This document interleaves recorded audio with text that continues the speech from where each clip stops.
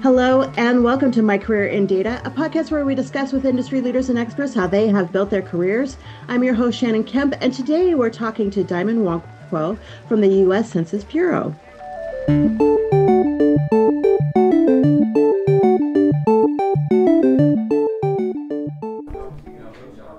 With a robust catalog of courses offered on demand and industry leading live online sessions throughout the year, the Dataversity Training Center is your launchpad for career success.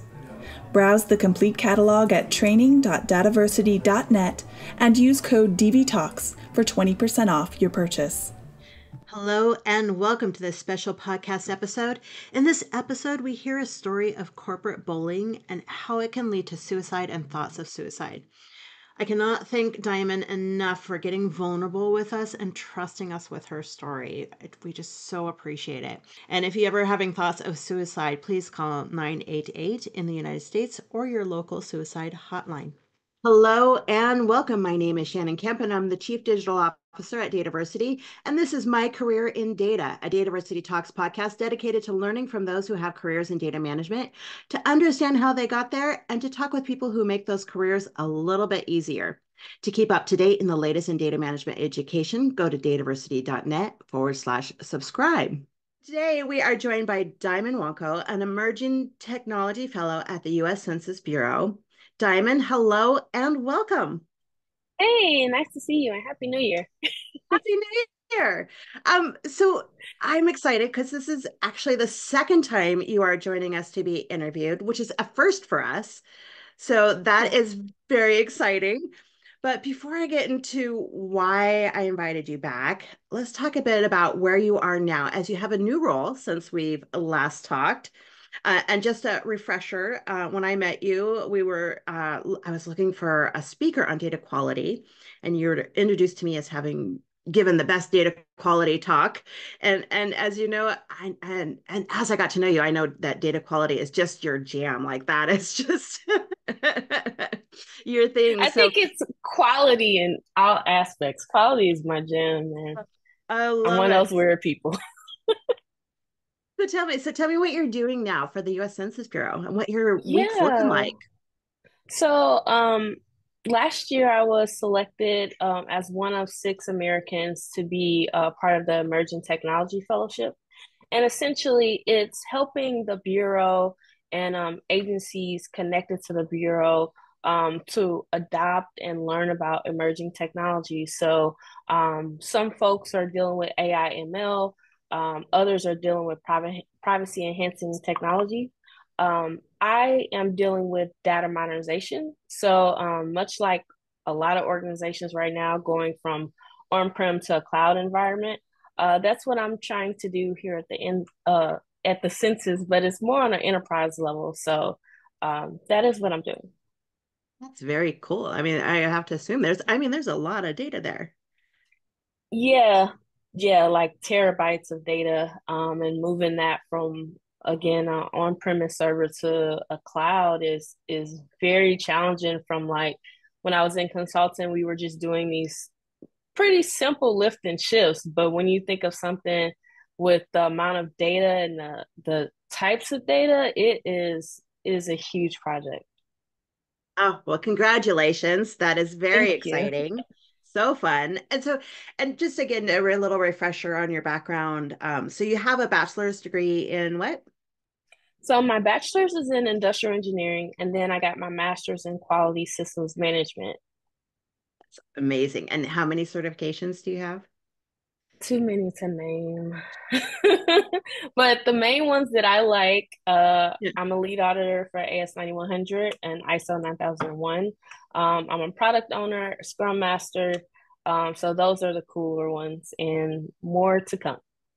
Oh, that's amazing. I love it. Okay, so in addition to working at the US Census Bureau, you um uh, I see on your website, diamondwilliams.me, you list yourself as a senior data engineer and data analytics educator who's passionate about equality for Black talent, exposing minority communities to data literacy, and helping with career navigation. Tell me a little bit about that. Oh man. Um, so I'll start with the career navigation to kind of build up. Um, so I'm a first gen college graduate and first in engineering and all of that. And I had no idea what I was doing. Um, it's one thing to have these conversations of go to college. Okay, I go there, now what? Um, so I kind of like banged my head against the wall all throughout college, just trying to find what's my thing.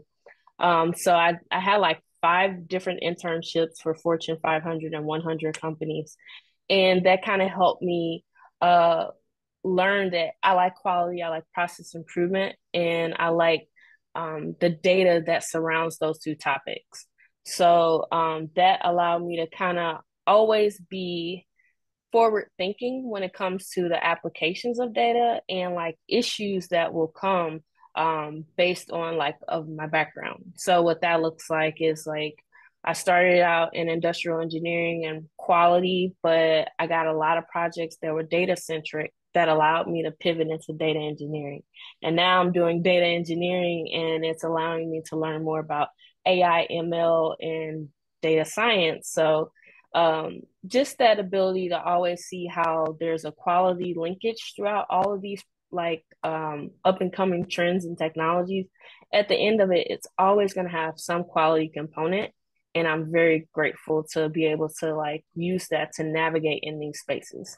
So that's what I hope to offer people there. Um, data literacy, um, as you probably see daily, there's something technology data driven, and to be able to not only understand the conversation but participate in the conversation, you have to know something about data. So um, that's where the data literacy um, and education comes in. Um, I'm an adjunct instructor for Maryville University, uh, part of their graduate data and analytics program. So just helping um, students become more data literate and understand how to um, be data driven in this world. So that's kind of like why that bio is summed up that way. Oh, amazing. So, and you mentioned that you at, at you are an adjunct instructor, and also now, in addition to all of that, you are also uh, a self-employed for principal quality specialist for Quality Aero Systems. So, tell me a little bit about yeah. that. So, Quality Aero Systems is my baby that um, I hope to be birthing very soon. Um, essentially, I want to focus on again just data and quality in the areas that that impacts. So that looks like traditional quality, where that's your QMS, AS9100, ISO 9001 then your data quality. So that's the next layer. You have your standard traditional quality, your data quality. And what I'm learning more about is uh, data ethics, which is like a quality component of how the data is stored and interacted with from an algorithmic auditing standpoint. So I'm trying to build on all of the layers of how quality impacts these places differently. Oh, I love that so much. Thank oh my gosh. So, you know, you, you just do you sleep? Because you, are also, you know. No. no, I have a toddler. She cares nothing about sleep. I was gonna say you're a mom. yes. She does not care. you also are um list yourself as an author. Tell me about that. Yeah, so um, during my master's in quality systems management, again, I was able to kind of see how data is going to, our quality impacts data. And that led me to um, publishing an article on um, data quality management for Industry 4.0. And I essentially looked at um, all various types of literature about data quality and how um, data quality management uh, is impacted in this new space, which is like your industry 4.0. Um, and essentially, what that looked like is learning how quality is continuing to evolve and touch all these spaces when um, for a while, quality was just looked at the gatekeeper um, within a business. So it's like, I'm going to design something. We'll check the quality once we're right at the door. But now the the concept of how can we maintain quality throughout um, your data, your enterprise, whatever system that is, and being able to see how quality is continuing to transform and grow uh, definitely helped me understand how do I want to represent quality as well as how do I want future diamond future businesses to interact with quality. That's such an important thing. And uh, you know especially as we get into generative ai and that becomes has become a mainstream term. Uh, data ethics right goes right along with that and i love that you're looking at that. So you are a very very busy woman. So yes. impressive. Um uh, really Im- impressive and I will post the link to your to the previous podcast interview so you, everybody can get a in-depth uh, catch up on on how amazing you are and the career you've had. But let's get into why I invited you back. So I asked you back because you have a hard story to share a story that's not unique to data professionals, but I think one that impacts us all, right? And is and as this podcast is the intent of this podcast is to help data professionals careers be a little bit easier. I believe it's important to share these hard things and talk about how we can help each other just be better. Yeah. So recently I um I saw you repost the story regarding the death of Dr. Antoinette Candia Bailey, aka Bonnie. She was a Black woman who was the vice president of student affairs at Lincoln University, Missouri, and she reportedly committed suicide from, quote, bullying and severe mistreatment, end quote, by the president and other leadership at the university. So, first, for those who are unfamiliar, can you tell me a little bit more about this story as you understand it? Yeah, um, I I think the summary that you gave was how I learned of the story as well. Um, and I just kind of researched it. I I just was captured by it because I had experienced similar things and um, I understood her decision. Um, not that no, I, I don't think any person um, wakes up wanting that, but I feel like at some point you get to this space where it feels like you're boxed in and, and that's the only solution. Um, and it's it's difficult, right? And um, again, I, I don't think any person just goes in wanting that, but once you're you raise the flag so many times and nothing's changed, it's just like maybe I'm the problem and, maybe I should um, eliminate myself from the problem. Um, and that's some people choose to do that by leaving and, you know, find another job or whatever. And then other people, not not that they're weaker or whatever, they just everyone has the moment where they get to I can't take it anymore. And that's mm-hmm. expressed differently. So seeing that um, really resonated with how I felt um, when I was at a, a, particular job and just really debated on like, how can I just get relief? I just want the pain to go away. So when you did repost the story, you didn't just say this makes you sad. You shared your own experience with uh, corporate bullying, um, which uh, and like as you just said you, you mentioned uh, that it led you to having those kind of thoughts so so tell me tell me the story um tell me the story. Tell me what that experience was uh yeah um so before i i actually did a uh, job transfer to same company but a different location. And I like the the location that I was previously at. The issue was that I had a super busy manager, and um, it was difficult to understand as a new employee and a recent college graduate what my needs were and what were my opportunities for improvement when you have someone that's busy. Uh, it wasn't that she wasn't effective or anything. I just didn't know what to ask. I didn't know what I needed. So I saw an opportunity for a much smaller site. Um, and I thought my my perspective in going into that and applying for that role was that it's a smaller site. I can work intimately alongside of the quality manager and get the the tools and the resources that I wanted to grow. At that time, my goal was to become a vice president of quality. Uh, and I really wanted that one on one closeness. Um, I, I almost viewed it like Batman Robin when it came to like my manager and myself. Um, and when I had my interviews and went down to the site, that's how I was communicating. It was like this this great thing. Um, and gosh, it just took a sharp turn. Um, it it went from first just like, oh, you need to be more assertive in in meetings.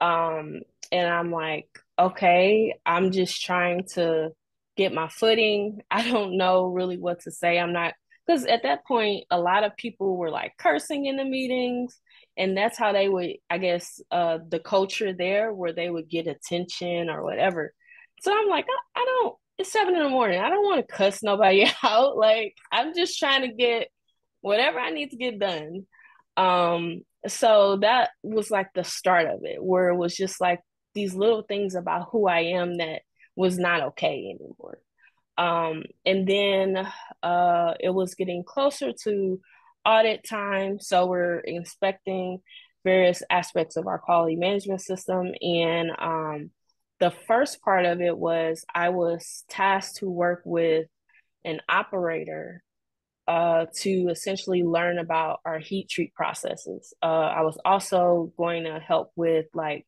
updating some code um, for the heat treat furnaces, the recipes. So again, to know these recipes, know like how to do these things you have to work intimately with these operators um, to almost get in their mind on how are they doing these things? How are you setting these recipes? How do you know when a part is not um, at the quality level we need it to be? Um, so that was one start of what became a, a labeled relationship was that i was literally tasked to work with someone. And because of the manner and how we worked together so that meant me spending more time literally just sitting at the furnaces asking questions um, that became labeled as i was having an inappropriate relationship with this operator. So yeah so it started off as just a little rumor um, so i'm thinking okay corporate is high school with paychecks i can deal with rumors i don't care but when it started to impact me was that um, I will my office was directly across from my um, quality manager. Um, so I, every Friday I would just walk in there and we would have our conversations or what have you. So mornings were the same operator that I was learning from would come in and we would talk through um, whatever was going on. I would close my door, but not all the way. Um, but that started, he got a text message from his supervisor. So another um, salaried person, right? That's uh, essentially in middle management where I am. And he's like texting him about some alleged things, inappropriate things that I'm doing with this operator in my office. Um, which he screenshots that to me, and I'm I'm just like, what the hell? This is the person you asked me to work with to learn alongside of, and now it's become something altogether different. Um, and then that led to literally me being removed from my office uh, and placed into like this bullpen area. So I didn't have the privacy of meeting with someone. Um, so that was one startup. Well, what let me let me ask you there. Um, so you were moved, you were asked to vacate your office, move into a bullpen, uh, into a cube, basically, right? Cubicle. Mm-hmm. Uh, and was there any investigation? Were you given any reasons? Were you it, it, they just heard rumors and decided to move you? Yeah. So basically, he got that text, and I want to say about the, let's say that he got that text on a Thursday. By that Monday, I was moved out of my office. Um, so I assume so, by him sharing that text with you, he was agreeing that like obviously this is not happening, right? Like Yeah, he's like, what are they talking about? Like and I, I'm just thinking, I have no idea, like I don't understand it, but whatever, like if that's what they want to think, whatever. Mm-hmm. But I never expected that to kind of result in me being moved out of like literally removed from my office. Like pack your stuff up, your stuff you're up. going in this other area. Um, and then the other area wasn't um it was probably the most hostile part for me. Um, so again, I'm the quality engineer and I'm working alongside of people within the engineering department um, to look at parts, disposition them, say what the issues are. Can we scrap this? Can we rework this? Do we need to enter a concession to our customer? Whatever the case is. And um, I, I moved into this like bullpen of people who are dealing more with uh, shipping of products which is fine. Um, but I, I asked that, hey, if I'm working more with the people in the engineering department, which were mainly men, um, actually exclusively men. Let me take that back, exclusively men. Um, yeah. How about I move in the area where they are, since we're working together every morning, um, and all of these things. And I was told, no, uh, you're going to stay here. And then the people that I'm working alongside of was literally a mother and her two daughters. So if the mother or one of the daughters felt any way about me, that got cascaded into the whole room. Um, so I would come into the room and I would because my my office so think of a square i'm like facing the mo- outermost wall um and everyone has a corner so when i walk into the office i can see them having exchanges about me um, while I'm sitting in the same place with them. Um, and one of the conversations was like, "Oh, I think I'm better than them because I want to um, work in the engineering department." And I, I'm like, I'm the quality engineer here. I work exclusively with the engineering team, and I help alongside of you guys, but I think it would be more value if we have quality related problems for me to be alongside of engineering. That was not the case. Um, then what else has happened? So, like, um, part of my job was also to do these uh, first article inspection reports.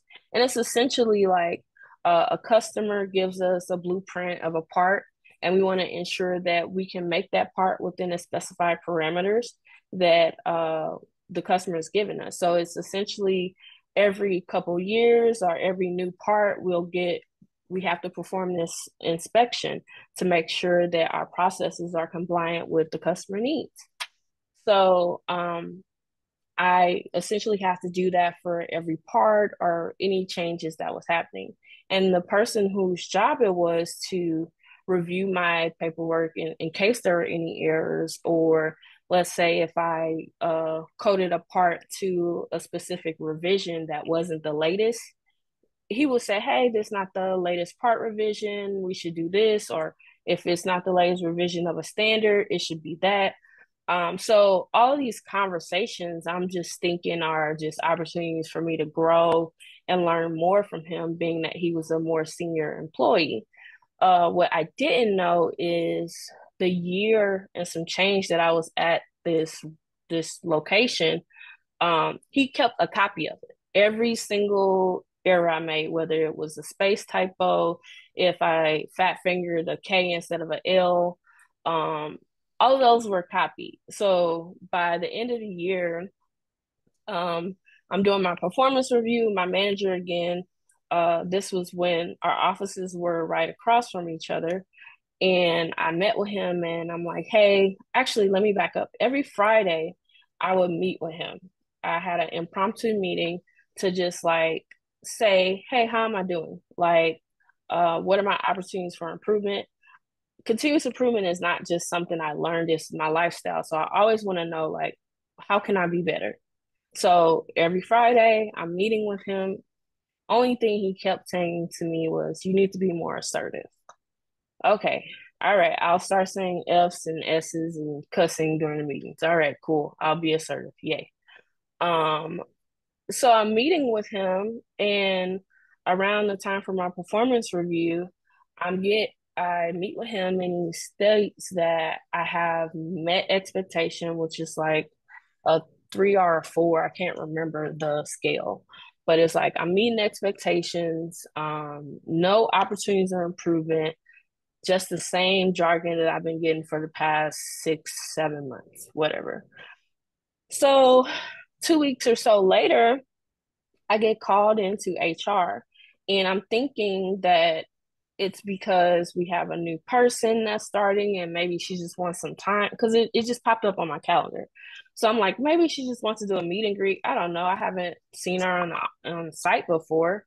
But essentially this person came from headquarters to tell me that i was placed on a, a pip or a performance improvement plan uh, for failing to exceed uh, expectations. And i'm literally like what are you talking about? I just met with my manager two weeks ago. Um, and he said I was doing great. And she proceeded to list uh, essentially uh, how I'm not a team player. Again, coming from the family that I was sitting in an office with, they were any anything I did, they were reporting back um, and saying that I wasn't doing X, Y, and Z. Uh, so I'm not a team player. Um, I also learned that any error that I made, the person who reviewed it, mind you, it never made it to a customer. This is just internal review. Um, he has kept the copy of it with for the past year and has presented that to uh, express that I'm incompetent for this job. Um, so yeah, I just oh yeah, also um did not have a a good relationship with my manager. That was part of my PIP, so I had to improve my communication with him. Which I'm like, I meet with this guy every Friday. What are you talking about? Um, I also learned during that session that I got complaints about from HR or from someone to HR that I came into work too early. Now, too I'm early. working else. Yes, too early. I work in aerospace manufacturing. We have three shifts. We have quality issues on each shift. The responsible thing to do is let me assess each shift at random to see what's happening to contribute to these quality related issues.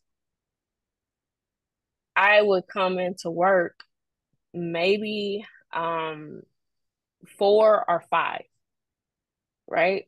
Because I want to understand what's happening mid shift. Or I may stay later to six or seven because that's second shift. So I'm trying to tap all three shifts. But literally, I will. I the report stated that I came into work early. The front office opens at seven. I need to be there at seven. And I didn't even know that was an offense less known an offense that should be reported and documented. Yeah. So um I it was just thing after thing after thing after thing. Yeah. So you were you were placed in a cubicle with other women. Mm-hmm. Kept away from other from your team because they were all men. Mm-hmm. Um, is it uh, uh, any colleagues of color? No, I am the only uh, woman of color there uh, as far as engineering. We had a continuous improvement manager who was um, Hispanic, uh, but she didn't interact with the engineering department in the way that I did. uh, her interactions were separate in a way. Um, and I know that she wasn't treated well, but I can't communicate to what extent. Because me and her would have these conversations, um, and I would vent to her a lot uh, because that was like the only um, female in a technical role that minority female in a technical role that was there. Um, and essentially, there would be times where I'm an engineer, and there the people who were working for the engineering department, except for the engineering manager, were not engineers. Um, and what I mean by that, they did not obtain an engineering degree. They were in school, they were in, in a community college to get the prerequisites to go on to, uh, I guess, a traditional college or university to get their mechanical or what have you engineering degree. Um, so it'll be times where I will vent to the continuous improvement manager and letting her know, like, hey, I, I brought up the, the idea of, hey, let's check these the tensile strength or what's the max pressure on these machines, all these things that I've studied. Uh, and I would get dismissed as if I didn't know what I was talking about. And um, one event that was jarring to me is that I asked these um, people in the engineering department about a max pressure for an extrusion machine that like creates this arc. And um, I'm trying to understand at what point will we put too much pressure on this and it will fracture. These are aluminum and titanium extrusions. Um, nobody wanted to hear what I had to say. And one day, the part actually fractured uh, it literally went through the roof and landed two to 400 yards away from the plant. And that was one part. There was another part that um, they, however, they designed it, when the operator put it uh, in that extrusion machine, the recoil in some way fired back and hit the operator in the head. Thankfully, he had his helmet on, but you're talking about a 1,500 pound piece of aluminum that's hitting someone. No safety offense, no safety write up, no near miss, um, wasn't reported to HR, uh, no discipline for neither neither thing. But me having typos that never made it to our customer, was an offense that needed to be documented. Wow. So I'm dealing with that, right? I'm going back and forth talking to her, like, what the hell is going on? Like, these are typos, and we almost killed somebody on more than one occasion. And none of these have been dealt with at the gravity or the magnitude that I am dealing with. I don't understand. Yeah, uh, that would be certainly a hard thing to understand. And and something that you had mentioned in your um, LinkedIn post is, you know, again to just reiterate. I mean, you have a, a degree in engineering, um, and the but we're dismissed as not knowing what, and as you mentioned, not knowing what you're talking about. But your colleagues did not have a degree. Am I correct? Correct. Yeah. Um, you also mentioned, you know, uh, additional um, bullying about wanting when you asked and requested to improve yourself. Can you tell me a little bit about that? Oh yeah. So um, at this time, I this was before I started my master's. I had just got accepted into Eastern Michigan. And what led me to um, pursue this uh, degree in quality was that one of my previous mentors um, went to the same university. She graduated with the same program and she eventually worked her way to becoming the VP of quality. So I wanted to follow her steps. And um, essentially, I got accepted to Eastern Michigan University, and I'm very excited. Uh, again, I'm still working for the same company. I just did a site transfer. So they stated, hey, when you do your site transfer, um, bring up your tuition and all that to them since you'll now be uh, an employee there.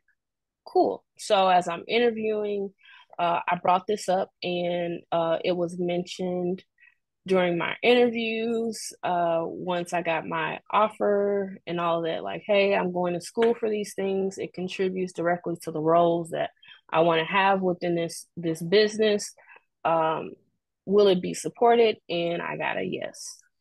So once I started and I started school, I want to say um, August or May of that that same that same year or year before. Um, and I'm just seeing like what's the process to go through tuition reimbursement.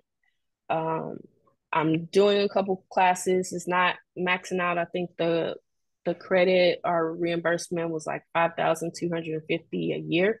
So I'm ensuring that I, I hover below that. Um, and every time I meet with HR, my manager, uh, or even the plant manager to talk through like, hey, how do what's the process of me getting the tuition reimbursement? Um, I was always told they never had the funds. Um, and I'm like, all right, it's not ideal, but okay, I'll, I'll do it. I'll just pay out of pocket for my master's, cool, whatever. But I learned through again, I would have these morning meetings with these same guys to go over parts and all of that. Uh, I learned from them that the site was covering the four guys who did not have an engineering degree. Um, they're covering their tuition uh, for the classes that they're taking, their calculus, um, think they were taking like calculus, geometry, all all the levels, the prerequisite courses to get into um into a university. And I was just like, so yeah, don't have money for me. Cool. And that kind of was confirmed. Uh, so once I am learning more about the problems that we're having, it's a lot of part variation. So I'm like, maybe we should do a green belt or a Lean Six Sigma project to like reduce the variation in these parts. So I'm learning more about Lean Six Sigma, and I asked my manager, um, "Hey, there's this Lean Six Sigma training. It's a couple hundred or a couple thousand dollars. I couldn't remember. No, it was like eighteen hundred. I take it back. Um, so I'm like, it's like eighteen hundred bucks. Can I go to it? Like, can you guys help me or sponsor it? And this was like I asked him during our one on ones, and he was like, "I'll I'll think about it. Um, give me some time." I said, "Okay." So I wait some time because his deadline is vastly approaching. So then we're like having this meeting are going to have a meeting. So we get there early and it's just at that time it's just me and him. Um and I I asked him um and people are starting to walk in but we're just standing alone having a conversation. And I said, "Hey, the timeline for this training is approaching like will you guys be able to cover the Lean Six Sigma training for me?" um like i just want to know what to do and like again people are filling in the room. And he's like, trainings cost money. And he just yells that at me. He's like, no, trainings cost money. I said no. And I'm like, wow, yeah. What? I'm like, what is happening? First, my daddy lives in St. Louis. Like, who are you yelling at? like, you're not my parent. Right. Where's this coming from? Um, and two, I'm like horrified because I it's a whole room full of people at this point, and you just yelled at me to the top of your lungs. Um, so I sat there like trying, you know, like how you want to cry, but you like, okay, suck it up, don't cry right now. It's a room full of people. I'm gonna wait till I get to my office or a mm-hmm. bathroom. Mm-hmm. I can't cry right now. So you're gonna pinch yourself, do whatever, so you don't cry in that moment. Um, and again, I have my my laptop with me, and I get a, a chime, and it's like the engineering manager, and he's like, "Hey, are you okay?" And I'm just like, "No, I'm not okay." This guy just yelled at me, like, like I'm a child. So I eventually just paid for the training out of pocket, um, and just stopped like it just felt like any moment that I was trying to improve myself or find ways to make sure I was creating value or finding ways to create value, it was just a problem. So I started to feel like, is it me? Am I the problem? And um, it got to the point where every other day it was something new about what I was doing. Um, and I'm on this PIP and I'm I'm just trying to like check the boxes. So I'm being nice to the mom, more nice, like like just trying to go above and beyond to like these room of mom and her two daughters. You know, I'm like, hey, do y'all need anything? Um, like I even asked one lady, like the mom one day, because I just was like, so overwhelmed. I was like, hey, can you just pray with me? Because she had all these crosses up. I'm like, can can you just pray with me? Like I'm I just feel like overwhelmed and I can't not cry right now. Like just I'm just trying to like I'm human, just see me. Uh and she's like nice to me and she prays with me. And then the next week is back to the same thing where it's like she doesn't like me, her daughters don't like me, and they'll have conversations around me. Um, and I'm hearing chimes going back and forth, and people are laughing. Um, but I'm not I'm not engaged. There there's no hey Diamond outside of that one time where we had this moment, nothing. I'm like trying to bring up movies. I'm trying to how can I connect with y'all? Like what can I do? Um but yeah, so it, it just was like I started having really, really bad panic attacks. Like just pulling up in a parking lot, I would just cry. I would just sit like head and steering wheel, just like boohooing. And then I'm like, okay, Diamond, suck it up. Let's make it through the day. And like the one person who was like consistently nice to me was the same operator that I lost my office on. So like I'm trying to like interact with him and engage with him because he's nice to me. Actually, it was a lot of the operators on the floor that were very nice to me. Um, that would, hey, are you okay? You look a certain way. Like, is everything okay? And I would get that anytime I stepped on the floor. Uh, I would sit there and like listen to the operators, hear what the issues are, and try to be their voice because they weren't getting listened to either, right? So, and my first job ever uh, was I was an intern uh, at a automotive manufacturing company, and I had an operator come to me my first day. I'm walking through the plant, just trying to understand it, and he's like, "Hey, I know that you're going to go get your degree." And you're going to be this engineer thing, but I need you to know you're not better than us. And I need you to know that these operators know these machines and they can break it to the point where maintenance will know how to fix it. So don't let your degree make you treat us like you're better than us because that's what everyone else did. Mm-hmm. And I always took I I don't even remember that guy's name. I don't think he even gave me his name. But I always took that piece of advice, no matter how it was delivered, it was the fact that like I'm never going to go out of my way to belittle or make um, operators or people who are actually hands on with the product to make them feel like they don't know what what's going on. I'm always going to find a way to include these people and make sure that I can advocate for them. Um, so like I spent a lot of time just on the shop floor because if there's quality problems, you and this manual aren't going to teach me anything.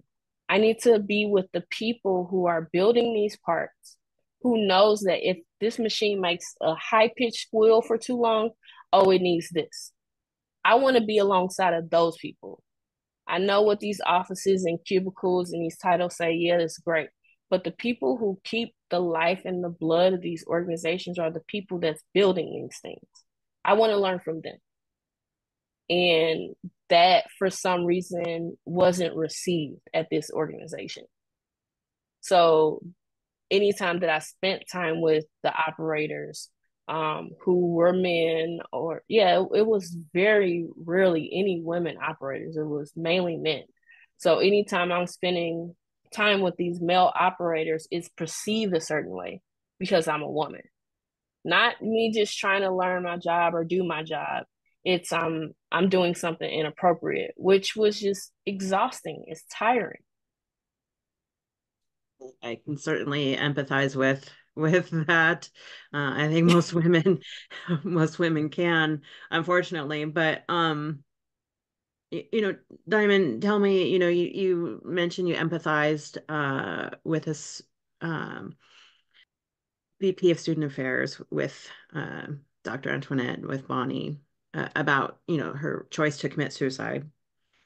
Uh, and you talked a little bit about how you can uh, you know why you know staying for so long and and choosing that. And um so how did you work through those feelings and that empathy and you know and you know why did you keep trying? Why did you keep staying? Like what what what are your thoughts going through and what are you dealing with there yeah. Um I stayed because at that time I didn't feel like I had an escape. So um I'm in my 20s. I I'm living in another state. My parents aren't there. I literally had just bought a house.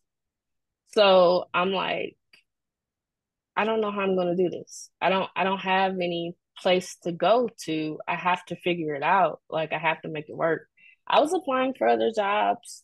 Um, I was trying to find out any way possible. I had conversations with HR, um, just like, hey, help me. What can I do? Like, how can I make it more bearable? Um, and like nothing worked out. So I I'm just trying to show up, cry in my car, do my best, um, and whatever I could. And um so I'm on this this PIP. Let me go back to that because it kind of yeah frames everything. I'm on it was a six week PIP where I had six weeks to improve or I was getting fired. So I got on the PIP, I want to say in October. Yeah, October or something like that. I don't know. Um, and it was supposed to end in November. I remember that specifically. Um, and what ended up happening is I'm trying to follow this subjective rubric of like what I'm doing wrong um to the T. And like November comes and nothing happens. So I'm like, oh, I'm doing good. December comes Nothing happens. Okay, maybe I'm doing great. January comes. Nothing happens, right? I'm like, man, all right. So maybe I'm doing right. Maybe something, maybe something I did was, maybe it was me. Maybe, I don't know. Like, okay, maybe I'm, I'm changing. Maybe they like me now. January 30th, 2019. 2:15 p.m. Central Standard Time. I get a alert from HR. I'm like, okay. I don't like these random HR pop-ups on my calendars. All right. So I'm going into the office and I'm like, all right, my PIP ended six weeks ago or three months ago. I should be good. Like maybe they're telling me, you know, great job or whatever. No, they fired me.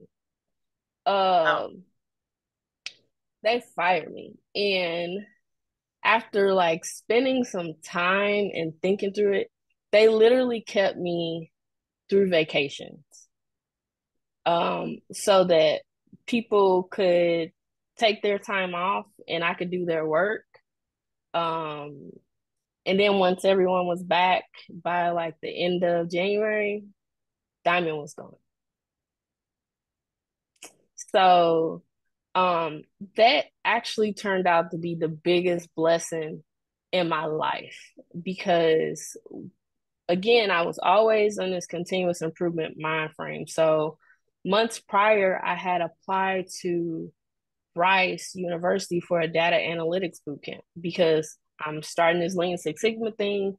I want to learn more about coding and like how do I improve these parts because we had like eight product escapes. It was just a really bad time. So I'm trying to figure out like how can I improve? I need to learn coding. Literally, the boot camp started again. I got fired January 30th. It started, I want to say that was a Friday. The boot camp started that Monday. So I'm like, Diamond, what are you gonna do? Are you gonna just cry every day or you're just going to do something else. So I showed up to the boot camp and I told them like, hey, I lost my job. Um, I don't know if I'm gonna be able to pay for it. Can y'all work with me? And they did. Uh, so I did that boot camp for six months. I was unemployed for eight months. So during that eight months, I was in therapy because after dealing with them, you need it. Actually, I was in therapy during all of it, but yeah. So I was in therapy. I'm going through this boot camp, applying for jobs, just trying to get into this data space. I didn't know where in this data space. I just wanted to land somewhere um, and get like I love aerospace manufacturing. I love it. I literally have ISO standards saved in my phone from aerospace manufacturing, and I occasionally read them. That is my when it comes to like aerospace manufacturing. I really, really like it. Um, yeah, I'm weird for that. I'll accept it.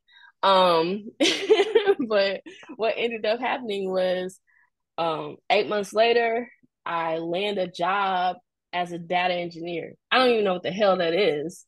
Um, but I land this job and like that job led me to everything else that I've been doing.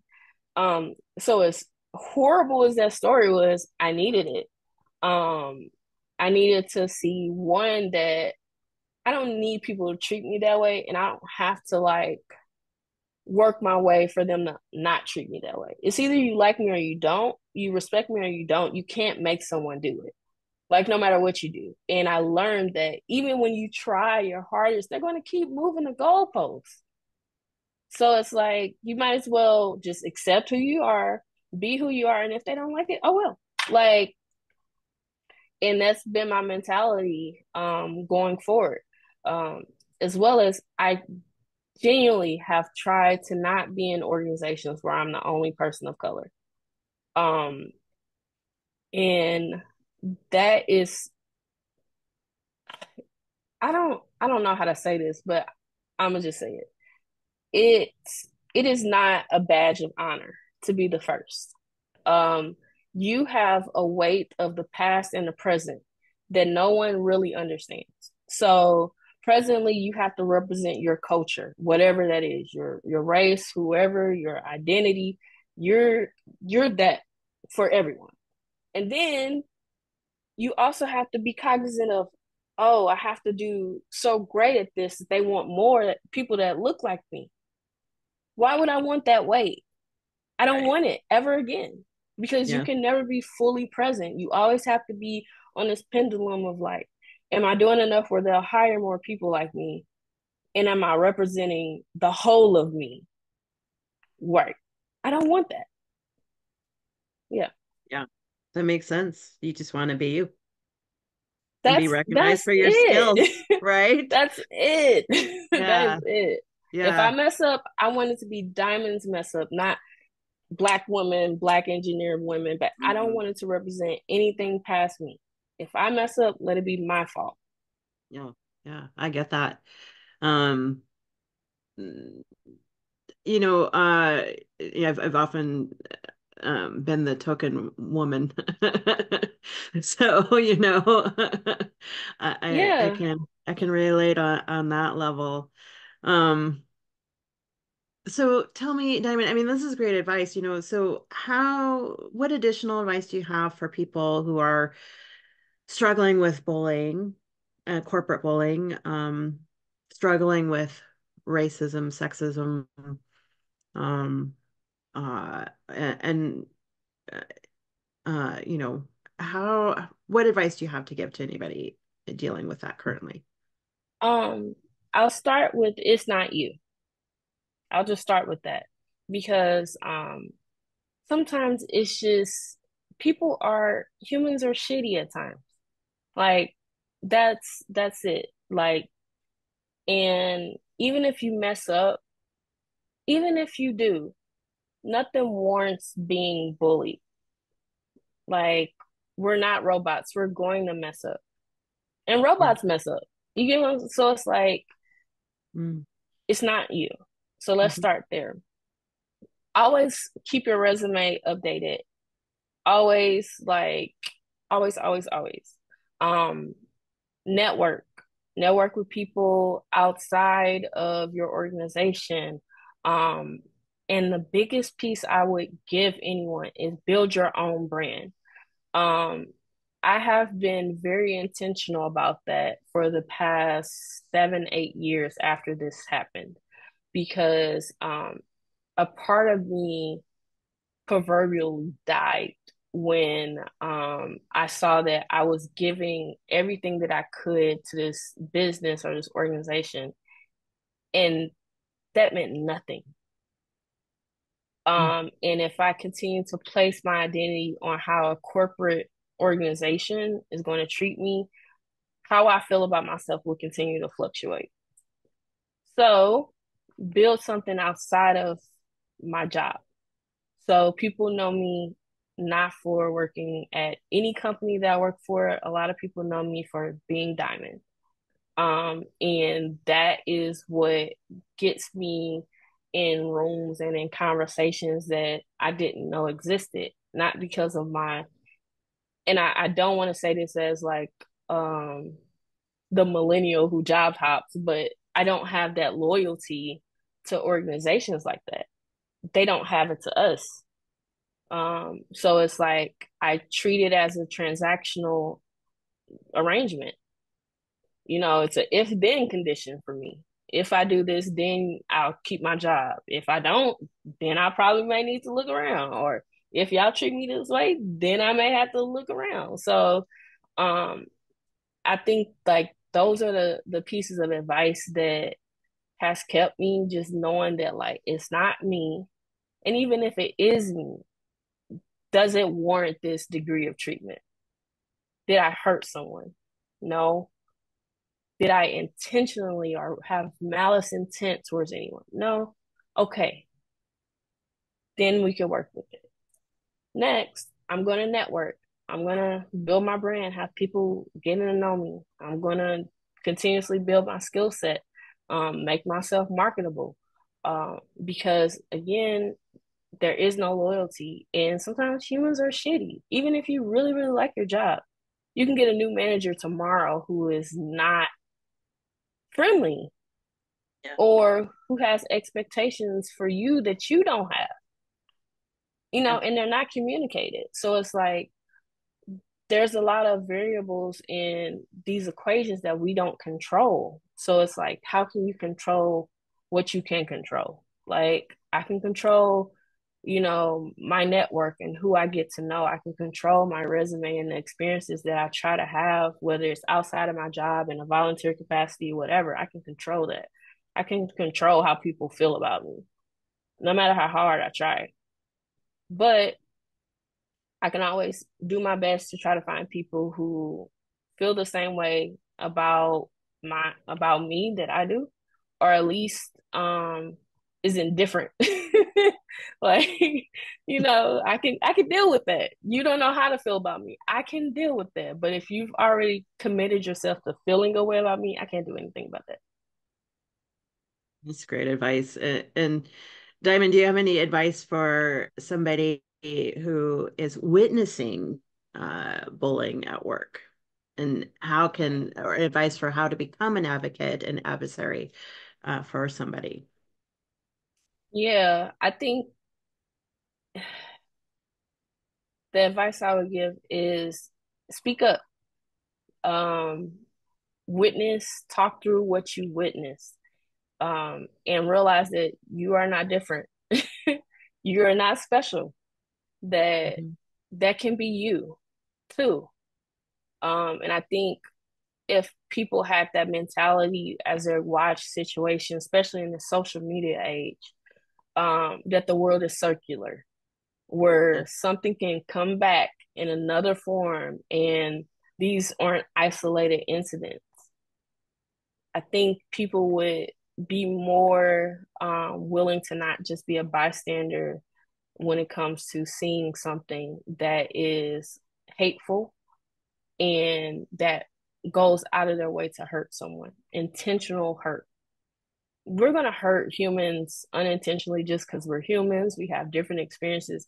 We can work past that. But intentionally going out of your way to hurt someone, speak up about it. Great advice. Any resources uh, on that people uh, you can recommend to educate on these issues or or find out more and how to just be better?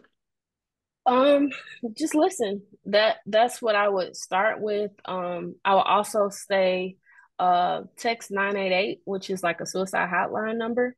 Um, if you're having those thoughts, uh text, call, those people listen. I've I called it several times during that, you know, when it was a much longer number than that. Um, when it was when I was in the thick of it and just having someone to just listen Mm-hmm. matters. Mm-hmm. Like just listen. Um resources and um Melinda Hart oh, I can't think of her book, but her name is Melinda Hart and she has a, a book. It's something about workplace. I can't think of it. But I would say that um dang, I can't think of that book's title now. Okay, we can look it up certainly. Yeah, I can't think of it. Um, she does a really good job of like highlighting what um the minority experience is um as a black woman in these spaces. Um, I can't speak to any other identities or ethnic groups outside of my own, um, because those are the resources that I primarily look for. Diamond, oh my gosh, what a story. Thank you. Um, thank you for so much for for being willing to share. Um, I hope uh, you know people hear and listen and and and you know I think I hope we're moving as a society towards you know feeling empowered to speak up more. Yeah. Um, and to say more and to stand up for better behavior because as you so. Yeah i hope so too. The book is called the memo by uh, minda hart perfect. The memo? Okay. Yeah. Awesome. Um well again i just thank you so much. I can't thank you enough. I just so have have so much appreciation for you um, thank you for getting vulnerable with us and and talking through this and and it, it means a lot. And, uh, it means a lot that you trusted me to uh, personally to to share this story to help share this story. I appreciate so. um being asked to share it. Um i haven't i've shared parts of it but I, i've never shared in totality what I went through in that like two years that I worked there. Well, I am sorry for what you went through, um, but I am grateful that you are uh, using it in such a positive way and, and finding yeah. finding uh, resources from that. So thank you. No thank you. No and thanks for everything you do. You are a powerhouse woman. I gotta tell you, man. Like you are no slouch. Constantly learning through it all. Like just, I'm just gonna keep going through my masters, and while I'm doing that, I'm getting a couple of certificates. You know, just like you are amazing. You yeah, are you, amazing.